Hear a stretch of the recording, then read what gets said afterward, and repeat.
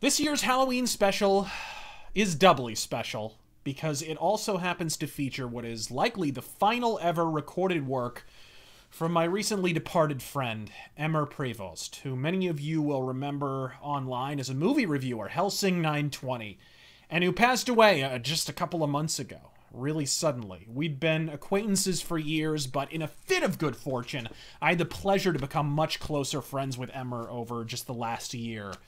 But I was always struck by his booming, baritone, natural announcer voice, and I pointed it out to many people over the years. So, of course, as soon as I was going to cast the new Shadow Radio episode, I had to ask Emer to do it, and thankfully, he exceeded. See, I've always said the biggest part in the Shadow is not the Shadow himself or Margot or even the villain of the week, whoever that may be. It's the announcer. Think about it. He has the product to sell. He has by far the most uninterrupted dialogue of any character in the show. And so it's tragically apropos that this, Emer's final work, will allow him to take that final bow at center stage. Emer, we're still rocked by your passing. We miss you, buddy. Without further delay, folks, the third ever Orson Welles episode of The Shadow, until recently lost to the shifting sands of time and featuring far more pulp elements than many of the later episodes did, The Vanishing Ink, for example. Danger in the dark.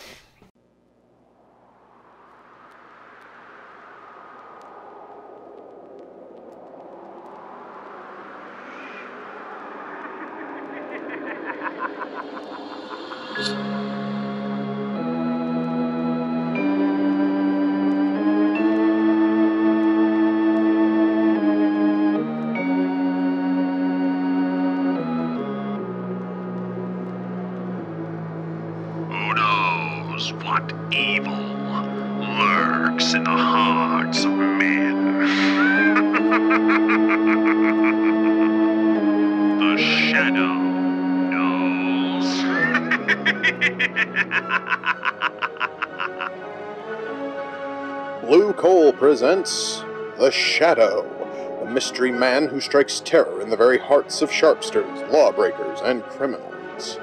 Ladies and gentlemen, when you hear The Shadow's blood curdling laugh, you can be sure that exciting entertainment will follow. And here's something else that you can be sure of. When you buy Blue Coal, you're getting the finest of Pennsylvania hard coal, a harmless blue coloring that identifies blue coal as your guarantee of clean, even, safe, dependable heat all winter long. So don't take chances. Insist on blue coal. Ask for it by name. Phone your order to your nearest blue coal dealer tomorrow, and be sure to hold on for John Barclay's important message at the end of this program. Today's drama Danger in the Dark. Margot Lane, stand by for instructions. I'm ready. You know Wallace Carter, president of the Eastern Products Company? Yes, I know him. Go to him. Find out from him all you can about his cashier, Jeff Green. Jeff Green. Yes, I have reason to suspect him. Very well. One more thing. Watch out for the owl. The owl? Why? Because he sees in the dark. How shall I know him? By the signal of his gang, the hoot of the owl. Listen. Report.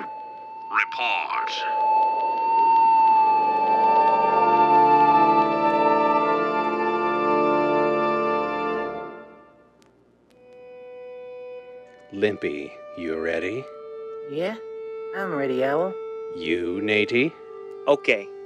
This job is for tonight. What's in it? 25 grand. Now listen. The Eastern Products Company is a one man business.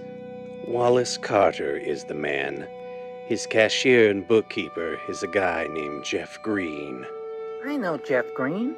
I have seen to it that you did know him and that he knew you, but not too well. Jeff Green is in this with us. And then what? Keep your mouth shut, Natey. I'll do the talking here. Uh, go on and talk then. You think because I'm blind you've got it on me. You're wrong. Remember, I'm called the Owl. My ears are better than your eyes, Natey. I mean nothing. Spill it, Owl. The bank has just granted Wallace Carter's request for a loan of $25,000. Carter has left it up to Jeff Green to arrange the details. Now, Carter thinks the money will just appear on the books as a credit for the Eastern Products Company. But Jeff Green has seen to it that the $25,000 will be in cash and in the safe tonight. Why don't you get Green to lift it then if he's working with us? I don't want Green suspected because we may be able to use him again. He will have an alibi for tonight. You and Natey will open the office safe and lift that roll. Green got the combination of the safe? I haven't asked him for it. I don't want this to look like an inside job. Get in the office and the safe just as you usually do. And then get out if we can. That's up to you.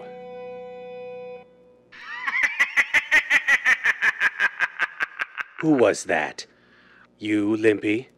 Not me. It was only a shadow, Limpy. Only a shadow.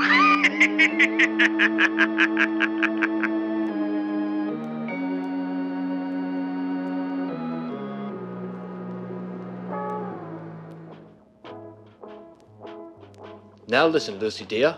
Don't worry. Eastern Products is all right. Sound as a nut. We have a little financial crisis once in a while, yes, but that doesn't mean anything.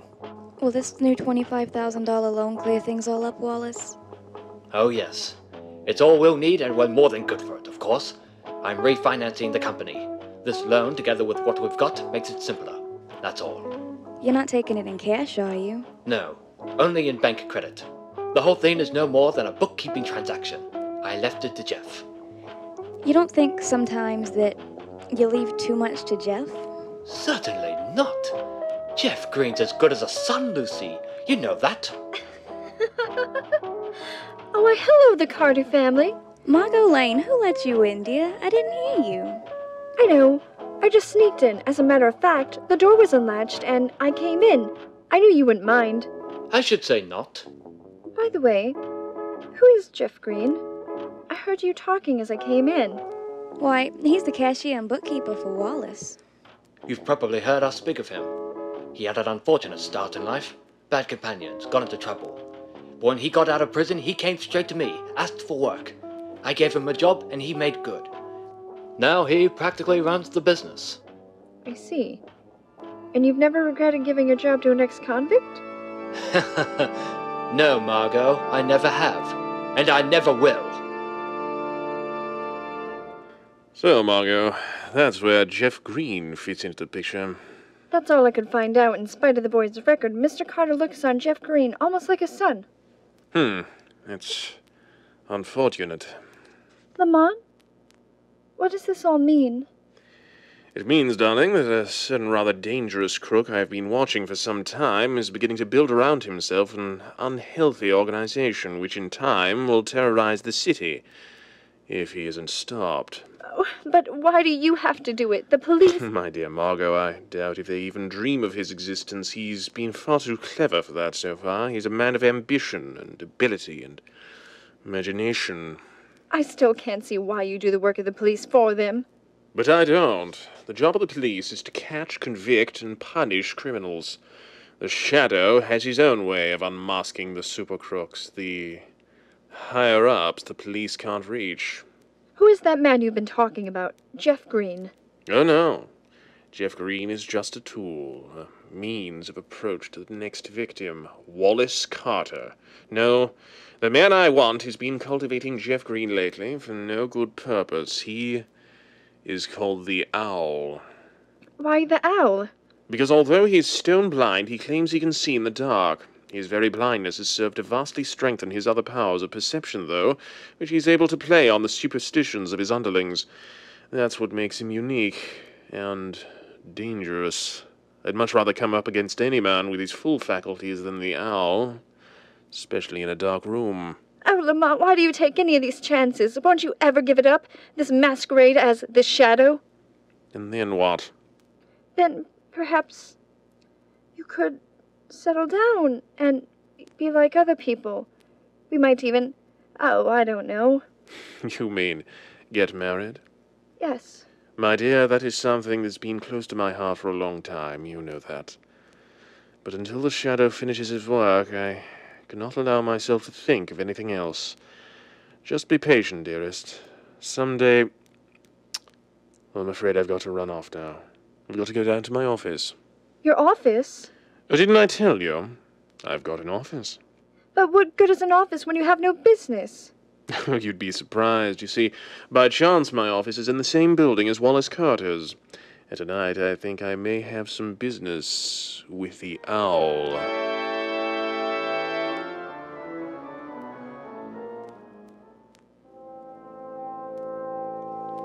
Evening, Mr. Carter. Not going back to your office this time of night, are you?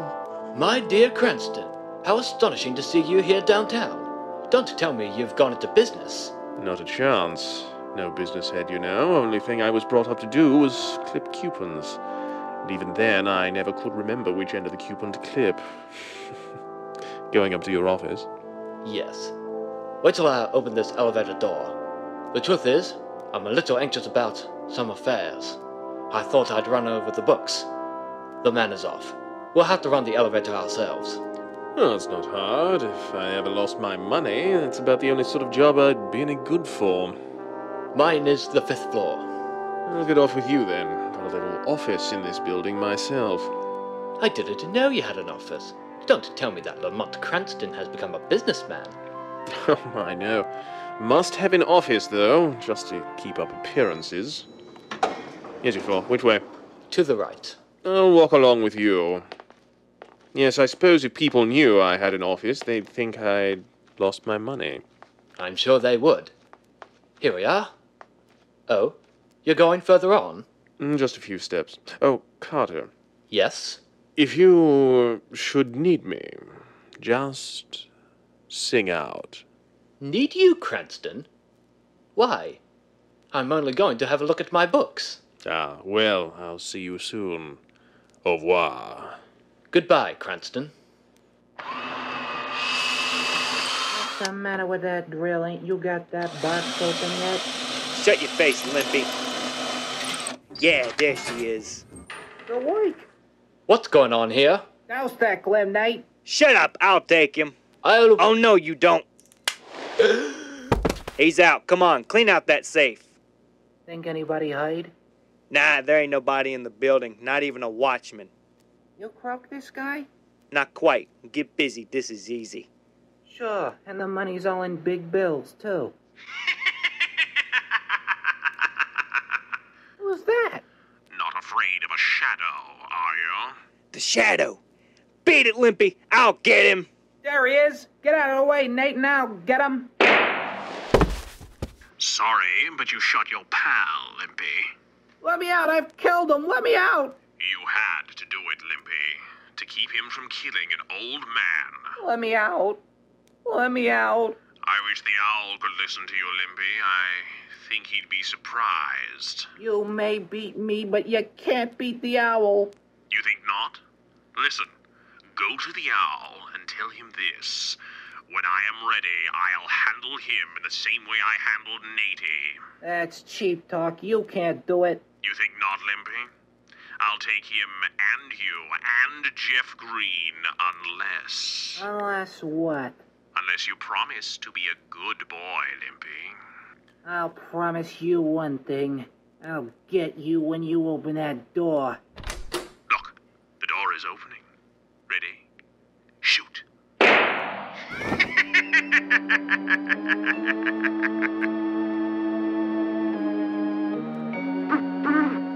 It's Limpy, Jeff. Let him in. It's about time, too. That you, Limpy? Who do you think it was, Santa Claus? Where's Natey? Dead. Who killed him? I did. I try to get the shadow. It was an accident. Then the shadow will have to die. A life for a life. You better make sure it's the shadow's life. That's all.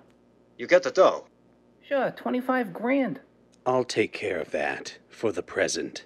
You talking about easing out the shadow owl? How you gonna do it? We ain't never seen him. No one ain't. You can't see him. You think you do, but you don't. And you can't rub out a shadow. you forget, Limpy, that I'm blind. For me, there are no shadows. So what? I'll show you. You and Jeff get up as quietly as you can and take your stations in some part of the room where I won't expect you. What is this, blind man's bluff? You have stated it exactly. Ready? Let me see if I can call it that. You, Limpy, are in the right hand corner near the window. You, Jeff, are by the fireplace. Am I right? How do you do it? For one thing, I could hear you breathing. Yeah, maybe. How how'd you tell us apart? Nature often makes up for the loss of one sense by an increased sensitivity in the others. Howl cross with a bloodhound. That's what you are. Something like that. But that doesn't help us get the shadow. You fool. Of course it does. The shadow cannot see in the dark any more than anyone else can. Only I, the owl, can see then. Let me get the shadow in a dark room. And he's mine. When you start figuring ways and means to save money for Christmas gifts, fuel is probably the last thing that comes to mind. Naturally, you don't want to jeopardize the health and comfort of your family, but did you know that you can actually have better heat for less money simply by burning blue coal? Here's why. Blue coal is a rich Pennsylvania anthracite. The fuel that furnaces, space heaters, and cooking ranges in this part of the country were especially designed to burn, and while other fuel prices are advancing, the cost of anthracite is not. No wonder thousands of homeowners are switching back to anthracite. No wonder anthracite is the fuel that is used for cooking purposes on the nation's packed passenger trains. They've tested all kinds of fuel and found that anthracite is far more economical because it burns long, steadily, evenly, with minimum drafts and less attention. Now, the cream of all Pennsylvania anthracite is blue coal. It comes from the mines of the famous Glen Alden Coal Company. It's tested and retested for purity and uniform sizing. Blue coal is prepared especially for home use, and it comes in all domestic sizes egg, stove, chestnut, and pea. So if you want clean, even, dependable heat at the lowest cost, always order blue coal. Phone your nearest blue coal dealer tomorrow. You'll find his name listed in the Where to Buy It section of your classified telephone directory under the name Blue Coal. How is he, Mrs. Carter? Still alive, Margot. Can't say much more than that. But he will get well? The doctors say so, yes. But it'll take a long time. But I suppose I should look on the bright side and be thankful that we have Jeff Green to run the business while Wallace is laid up. I see. Jeff Green. I don't know what I'd do without him, dear. Jeff is acting in Wallace's place now. He has power of attorney. What? Oh, yeah, someone has to carry the work, and poor Wallace. I see. So Jeff Green has power of attorney now. Three o'clock. I've got to be getting back to the office, Al. All alone now, you know. Yes, I know. You have power of attorney. I told you that. We'll use it. We'll withdraw the entire cash balance of the company. Liquidate all securities. Cut the firm. Take everything that can be realized. You understand? Yes, I understand, all right. But when we staged the 25,000 hole from the safe, I had an alibi. If I do this, I'm out on a limb. How much do you think we can realize? I should say 60,000. That will do. We'll split it even, Jeff. With 30,000 in your pocket, plus your share of what we've already got, you can afford to grow another limb. Mm, Maybe so. Who's going to cash the checks? You are, naturally. The bank won't suspect you. Saturday morning will be the best time. It'll give us an extra day before anything will be discovered. Okay. Saturday morning, I close the account. In cash. Of course, I am going with you. What for? Don't you trust me? No, Jeff, I don't. I don't trust anybody. Have it your own way. You talk about splitting this even. Where does Limpy come in? He doesn't come in, he stays out. Does he know that? He doesn't, and he won't, unless you tell him. Limpy is a gangster. This is no gangster's job. And besides, I'm getting a little tired of Limpy. And so he gets the double cross. If you care to put it that way, yes. Margot Lane, While Wallace Carter is convalescing, Jeff Green has been given the power of attorney for Eastern Products Company. Find out what type of pen he uses. Fill pen of same type with vanishing ink. Contrive to meet him and exchange your pen for his. Stand by for orders. It was delightful for you to bring me here tonight, Mr. Green. I was only too delighted to have you come, Miss Lane. Odd that we never met before at the Carters. Yes, isn't it? And then to wait until they were in such trouble. Poor Wallace Carter. What a thug the man must have been to attack him like that. Well, you know these crooks, Miss Lane. Pretty ruthless. I suppose they must be. I should think it would make anyone, any human being that is, actually sick to have to associate with them. Oh, yes, I dare say it does. By the way, you're going to let me see you again. Surely, but you don't know my address. That's love, so I don't. Here, I'll write it for you. Have you a pen?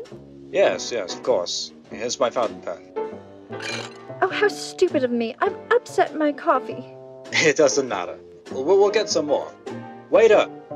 There, you'll be able to read that easily. For a while. We're right in front of the bank now, Owl. Turn right and be careful of the step. Ah, thank you. Right here. Here's the paying teller. Good morning, Mr. Green. Morning, Henry. Got a lot of money on hand? Well, enough to take care of our customers, I guess. Why? Well, I have a pretty big check for you this morning. We have a big deal on. Here it is. Unfold it. We want this in small bills, nothing over 20s. Why, Mr. Green, What's the matter? you've forgotten to make the check out. What? Here, let me see it. This is a blank check. It can't be. I made this out myself, with my own fountain pen. This morning. Well, there's nothing on it now. You must have brought the wrong check. Yes, I, I guess I must have. I, I, I can't understand it. You fool. What are you trying to do? I'm not trying to do anything. I, I made this check out this morning, and now it's blank. Well, go over to that desk. Write a new check. Pull yourself together. Yes, of course. Guess I made a mistake, Henry. I'll make out a new check. Uh, Mr. Green? What is it? Is that check to be on the Eastern Products Company account? Why, yes. What's the matter? The account was closed out yesterday morning. What? Mr. Carter called from the hospital, and our cashier went up there and arranged the matter. I thought, of course, you knew about it. No, I, I, I didn't know.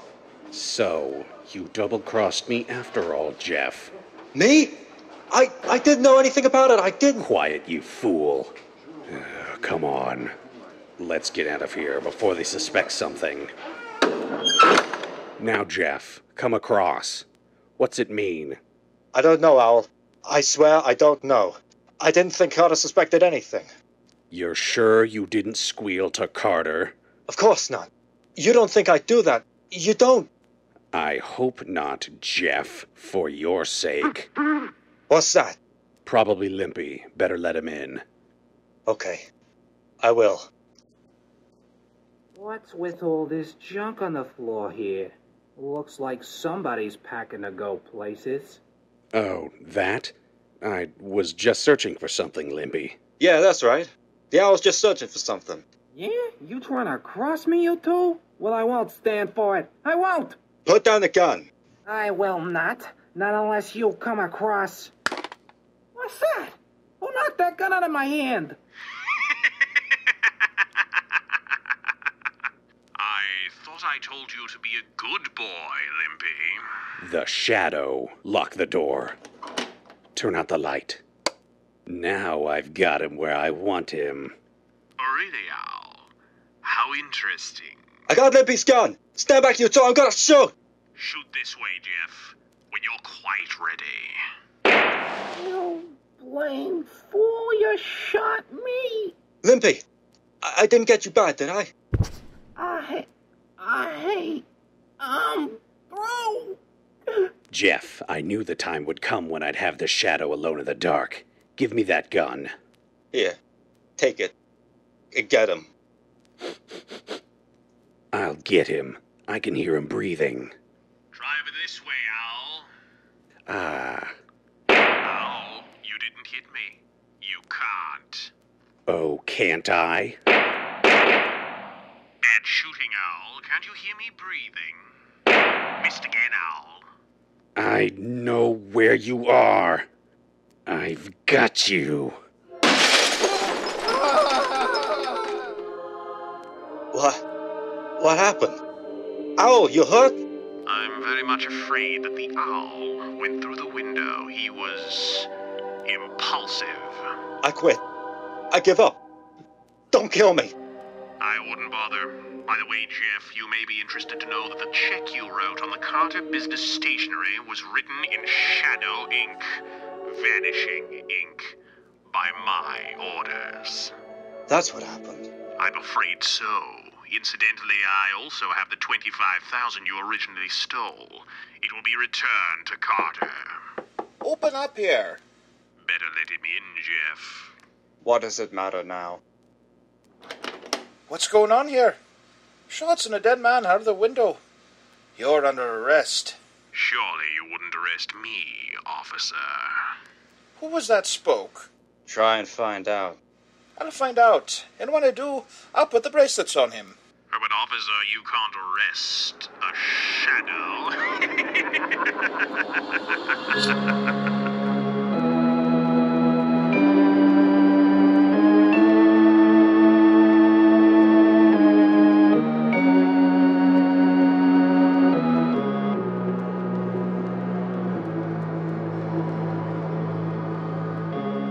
Before we tell you of the Shadow's next exciting adventure, here's John Barclay, Blue Coal's famous heating expert, with that important message I promised you. Ladies and gentlemen, Mr. Barclay. Friends, there are just a few more days left in the month. That means that homeowners have only a few more days in which to phone their blue coal dealers and get the full details on how they may have a blue coal heat regulator installed in their homes for a free trial period of two weeks. To me, this is the most unusual offer ever made. The free use of a blue coal heat regulator for two whole weeks without any obligation on your part to buy.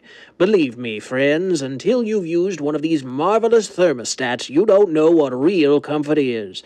Imagine having your home warm and cozy from morning till night without once having to make a trip down to the furnace. And that's not all. You'll find you burn far less coal with this regulator, too. But don't take my word for it. See for yourself. Phone your blue coal dealer tomorrow.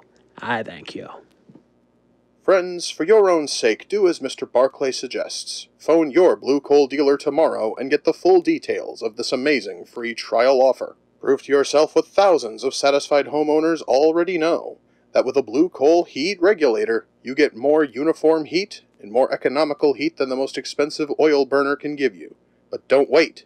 Phone your Blue Coal dealer tomorrow. The story you have just heard is copyrighted by the Shadow Magazine. The characters in this story are entirely fictitious. Any similarity to persons living or dead is purely coincidental. Join us next week when the Shadow will demonstrate that. The weed of crime bears bitter fruit. Crime does not pay. The shadow knows. ha ha ha ha ha